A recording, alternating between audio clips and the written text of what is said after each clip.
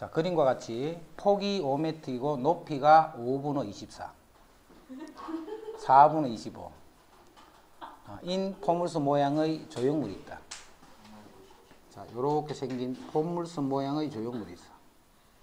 조형물인데 요 높이가 4분의 25야. 그 다음에 높이가 9가 되는 요 지점으로부터 높이가 9가 되는 지점에서 빛을 비친 거야. 그 빛을 비쳤더니 빛이 요렇게 비치겠지. 요렇게 스쳐가는 요 빛. 음. 요 조명의 불빛에 생기는 조형물의 그림자 끝을 실할 때 두 지점 AC 사이의 거리를 구하시오. 여기서부터 요까지 거리가 얼마인가를 찾아라는 거예요. 밑에 여기서 요 거리가 얼마인가를 구하셔야 돼요. 자, 그거를 어떤 식으로 생각을 하느냐면 요거를 x축으로 두는 거예요. x축으로. 그 다음에 y축은 요거를 두도 되고 아무 데나 편한 형태로 두면 되는데 시험은 요렇게 y축을 둘게. 요거를 y축이다 이렇게 둘게. 그럼 요 꼭지점을 요렇게 지난 요게 꼭지점이야. 꼭지점인데 그 점이 요 점이고 요 길이가 4분의 25인데 여기서 주의할 거 요 빨간 요 점이 요, 요 점을 지나면 안 돼, 그제? 여기서 여기서 접하는 거야, 여기서 접하는 게. 요 까만 점에서 접하는 게 아니고 요 부분에서 접하는 거야, 그제? 그래서 빨간 선이 지나가는 거야. 요때 요 길이가 4분의 25. 그럼 요게 0,4분의 25에 해당하네. 요거를 원점이다라고 두면. 그 다음에 AB의 폭이 5였기 때문에 여기는 2분의 5가 되고 요거는 마이너스 2분의 5다 이렇게 돼. 그럼 현재 봐. 이 포물선에 대해서 알고 있는 게 뭐냐면 x 절편 두 개를 알고 있고 y 절편도 알고 있는 그래서 포물선 식9 할 거야. 자, 첫 번째 포물선 식 구하기. 포물선 식 구하기. 자, 포물선 식은 구하는 방법이 두 가지가 있어. 조건이 지금 많이 많기 때문에 x 절편을 이용해서 구하는 방법. 하나는 꼭지점을 이용해서 구하는 방법. 자, 첫 번째 방법. x 절편을 이용해서 구해볼게요. x 절편. 자, x축과 만나는 점이 요거 두 개이기 때문에 이 포물선 식을 x 2분의 5, x 플러스 2분의 5. 2차 계수는 뭔지 모르니까 이렇게 둔 거예요. 2차 계수는 뭔지 몰라서 a 이렇게 둔 거예요. 2차 계수는. 이제 이 포물선 식을 알려면 a만 구하면 되지. a만 구하면 되는데 이 포물선에서 알고 있는 게 뭐고? 4분의 25, y 0,4분의 25를 지난다는 걸 알고 있지. 그래서 이게 4분의 25가 되면 a 곱하기 자 0을 집어넣으면 마이너스 4분의 25 이렇게 돼. 자 해서 a가 마이너스 1이 되네. 마이너스. 자 그래서 요 포물선 식이 마이너스 x 마이너스 2분의 5 x 플러스 2분의 5다 이렇게 돼. 이제 포물선 식을 구했다. 포물선 식을 구해지면 이제 내가 지금 찾고자 하는 게 뭐냐면 요 지점에서 요 지점까지 거리를 묻는 거예요. 요 지점에서 요 지점까지 거리를 묻는다. 요 거리라는 거는 요 좌표를 알기 때문에 요, 요 놈의 좌표만 알면 되겠네. 요 놈의 좌표. 그럼 요 좌표가 무슨 뜻이야? 빨간 직선의 x 절편에 해당하네. 그제? 결국 우리가 지금 찾고자 하는 거는 빨간 직선의 x 절편만 구하면 된다. 이러면. 빨간 직선 x 절편. 빨간 직선의 x 절편을 구해야 되니까 뭘 구해줘야 돼? 빨간 직선식만 알면 되겠지. 근데 빨간 직선식은 무슨 조건이 주어져 있냐면 요 점을 지나는 거예요. 요 점. 그 다음에 이 포물선하고 접하고 있는 거예요. 빨간 직선은 요 점을 지나고 포물선하고 접하고 있는 거예요. 그럼 요 점은 뭔데? x좌표가 마이너스 2분의 5. 그 다음에 높이가 9기 때문에 이건 y좌표라고 볼 수 있지. 이렇게 이제. 그래서 마이너스 2분의 5, 9를 지나고 요 포물선에 접하는 직선이 바로 빨간 직선이에요. 자, 그래서 요 빨간 직선식을 ax 더하기 b다 이렇게 둘 거예요. 여기까지 이해됐죠? 빨간 직선이 첫째로 요 점을 지나야 돼.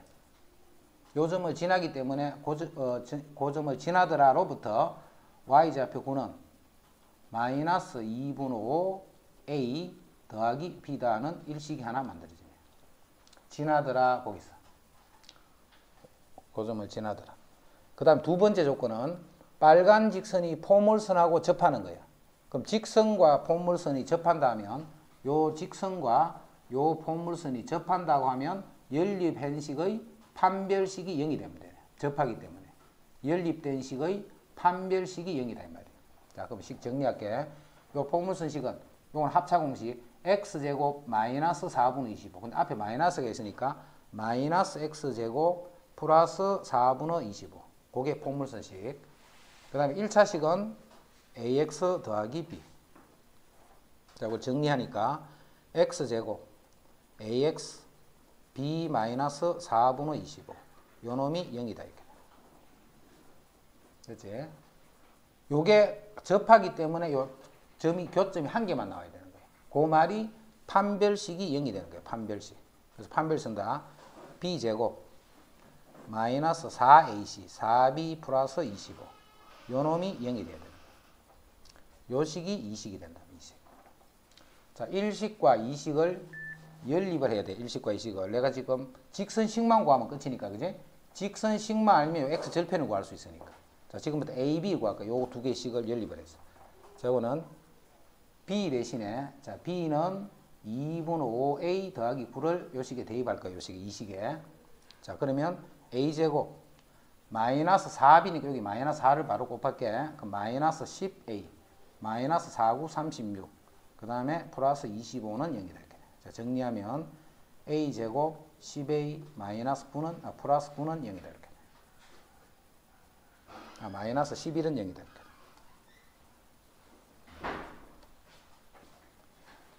그럼 1 곱하기 11 요게 마이너스 플러스. 자, 그래서 a는 마이너스 1과 11이 나왔네. 자, 그 다음에 또 잘 봐야 돼. a가 마이너스 1도 나오고 11도 나왔어. 그럼 a가 뭔데 a가? 요 부분에서 우리 바로 기울기를 나타내는 게 a잖아. 그지? a는 마이너스 1도 나오고 11도 나왔어. 요 빨간 직선의 기울기가 a인데 그 a가 마이너스 1도 나오고 11도 나왔어. 자, 이때 두 개 나온 이유를 알아야 돼. 두 개 나온 이유를. 두 개, 왜 두 개가 나왔나 하는 거. 자, 이렇게 두 개 나온 거는 봐. 자, 요, 여기서 말고 여기서 이렇게. 포물선이 이렇게 있단 말이야. 포물선이. 그러면 포물선 밖에 이 점이 하나 있어. 이 점.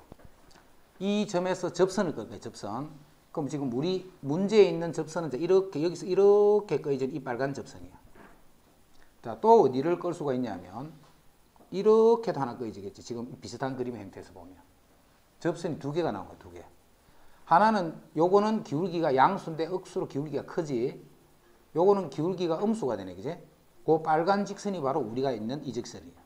그래서 우리가 찾는 기울기는 요게 된다며.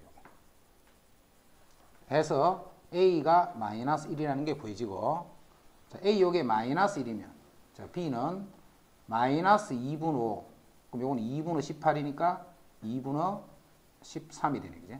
2분의 13. 자, 해서 이제 직선식이 구해졌네. 우리가 찾는 직선식은 y는 마이너스 x 플러스 2분의 13이다. 이렇게. 이제 직선식 구했다. 그럼 이 직선의 x 절편 찾는 거야. 그럼 x 절편은 y에 0을 넣은 거잖아. 그럼 0 이꼴 마이너스 x 플러스 2분의 13 했더니 x가 2분의 13이 되는 2분의 13. 그래서 요점의 x 좌표가 2분의 13이 되는 거예요.